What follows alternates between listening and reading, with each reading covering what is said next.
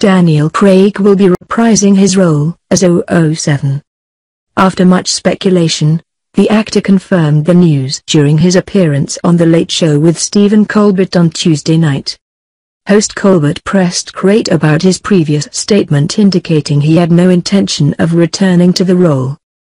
The star said he gave that interview two days after Spectre finished shooting, when he was still exhausted. Instead of saying something with style and grace, I said something really stupid, he said. Craig, 49, also said that the next Bond film would be his last.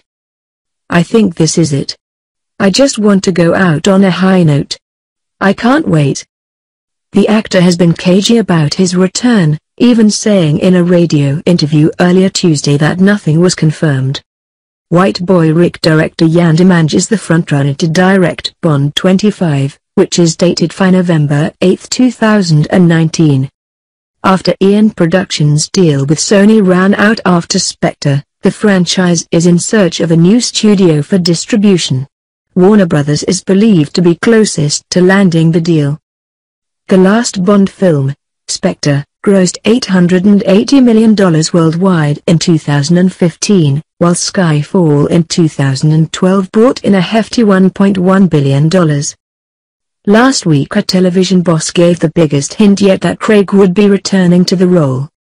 The actor was due to start work soon on TV drama Purity. But the US series has been put on hold, with Showtime network boss David Nevins saying of Craig, he's doing Bond first.